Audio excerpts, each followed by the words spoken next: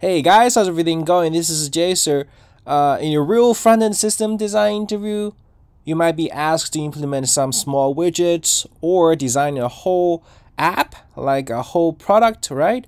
So in that case, only front-side knowledge is not enough. We need to understand the basic of the server side. Yeah, so in this video, I'm going to introduce the four uh, most important concept we as a front-end engineer myself we should all all know to uh, being able to draw a nice and convincing chart to the interviewer to tell it to, to, to convince them that we are able to uh, to accomplish our jobs right so these four tools that we need to know, but doesn't mean that uh, we need to master them. We need to know what the basic uh, uh, knowledge of it and to know how, what it is for and what it is uh, is best for. Okay, now the first one is CDN.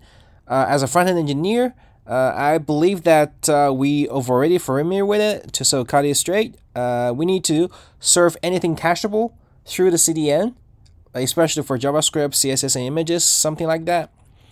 Also, especially for the global services. Why? Because rather than allowing these clients like the browser, mobile, or the application access our service directly, we need we better to serve them through the uh, content delivery network, which abbreviated for CDN. And so that the uh, the CDN could cache our static resources, so it can uh, drastically reduce the request to our origin server to save some costs, right? And also, it, the CDN always have these global uh, edge nodes uh, around the globe, and uh, if we are serving the users around uh, the world, uh, the CDN could actually provide the users with the closest edge nodes, so that uh, to so that the user would get the resources as soon as possible. So to reduce the, so the CDN could help us reduce latency. So the CDN, if you think about performance, always talk about CDN. Just serve anything cacheable on CDN. So that's it. There are some providers like Akamai, Cloudflare, or Amazon CloudFront. Well, they're basically doing the same thing. Okay, this is CDN, pretty related to our front end. The next one is load balancer. It's uh, more about uh, the infrastructure. Anyway, so the basic idea is that uh, the load balancer is actually a dispatcher for a lot of servers. You know, if you had a lot of requests, like had a lot of uh, tense uh, logic, but one server is not enough, right? And you have a bunch of servers. So uh, when a request came, uh, which server will do the work? right? You need the dispatcher, right? You want to tell, uh, tell you would tell the you would handle the request to specific servers. So that's the load balancer means. Let's take a look at the graph. So the clients, this is from the Nginx homepage. So a lot a lot of the clients requests can come and come to our this is our real servers. There were a lot of them, the servers, and uh, you we need to matching. You, you think of like a matching app and uh, match the request to which server. There are a lot of algorithm here. One is called uh, uh, I remember it is called Robin Robin Robin round robin. So it just randomly, not randomly, but just uh, choose a server uh, in order. So if a request come, it will serve to this server and then this server and do the round around, or just do it randomly. And also you you could you could uh, uh, hold the state of each server, see if it's busy or not, and uh, do it in another, another uh, uh, handle the request in another server. But there is called what what is it? Stick or not. If the user, if the same user comes, you would like possibly you would like to serve the user with the same server, right? They maybe have some uh, uh, I don't know state stateful data if that case, you need to keep track of the user, like use cookie or something, and doing some hash, and then serve the serve the server. I don't know. So pretty much, uh, this is the pretty much what the load balancer is. So in a real interview, if you have a bunch of servers, always add load balancer before it. Even for the even if it is for the HTML server or the API server, any kind of server groups, just add load balancer. Okay. So, so yeah, it is a dispatcher, helps up with the performance. and the third one is Redis. Um, so this is also very simple. You would always want to store some data. Uh, there are there are some kind of uh, new data uh, database right uh, in our days, like the NoSQL or other kind of database. I actually, I'm not familiar with, but remember, database querying is slow. Remember this. Yeah, and if you query something, it is actually takes some time. So let's cache it in memory. Yeah, just avoid the querying.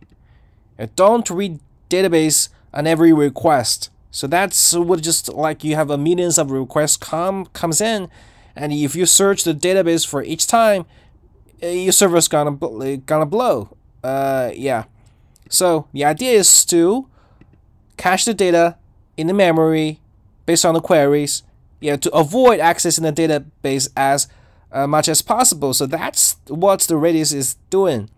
So this is uh, it is the application if you want to fetch some data store, the first, if you check if it is in the Redis or not, if it is cached or not. If it is cached, this is in memory, so it's just pretty fast. There's no querying, there's no in interfering with the files. And then if it is, you just uh, read it, and so uh, database is saved. If it is not in it, you get it from the database and cache it. So for the later use. Well, there are a lot of other problems like uh, like they use this kind of mechanism. What if the cache uh, would never hit? Like uh, suddenly the memory uh, is broken, and uh, if that thing happens, a lot of requests will come to our application will be directed to the database anyway, right? So that the database will be uh, will explode, right? The servers, your application just explode. So we maybe like need a secondary cache, the cache for the cache. Anyway, I'm not an expert on, on server side, so this is you, you, we just need to understand. We need to any anytime you uh, use draw a database in your chart to describe something, put Redis before the data before the database. Yeah, remember it's very important. Okay, the last one is message queue. The idea is also very simple. Suppose like uh, there are a lot ton, there ton of requests come in, and uh, at this short period of time, the requests peak, and the server doesn't have enough time to to process those requests, and the server might just ex explode, and users cannot wait, right? So uh, for that specific time, everything just doesn't work. How how should we do it? How should we solve this problem? Well, it's actually pretty simple. Remember, we, we uh, do throttling in JavaScript, right? So what we do similarly is just uh, tell the users we got it right away and memo it down and do and then we do the tasks later in our pace. So we don't hurry, we don't we don't rush ourselves. We so say like we can handle a task per second, then then for that one second, we get 100 tasks. Don't worry, we just return the user's uh, ID uh, uh, or something. Okay, we are going to do it. And then we use another process uh, to, to process the task, just one task per second. Even the 100 came, we will process it one by one and in our pace. So the server is, is saved and the user just uh, they will wait for some time, but the response is is is instant. So help uh, the users won't won't uh, be confused. Yeah, so, so this is basic idea. So let's take a look at the graph. This one is from the Amazon. So the producer, uh, producer, what is producer? Yeah, you have uh, trigger some task, right? A lot of maybe a lot of task. We put them all into the queue, and then process them in our pace in this queue. So and then uh, this is the consumer. This is the yeah. This is the producer is the uh, server side logic, which is adding tasks. So we put a signal, uh, you, you put in the queue, and then we have a, a consumer put, putting things out from this queue as with a specific uh, uh what, what is it with the frequency yeah like a one per one per second or two per second and then process it. And then say like you are uh, uh, you are done and you you might send a notification to the user's client and then that's another topic. You send a signal to the web push or, or, or some push mechanism and the user get noticed. Also like like you are uploading an, an image on twitter you upload an image. Actually the server need to process that image right?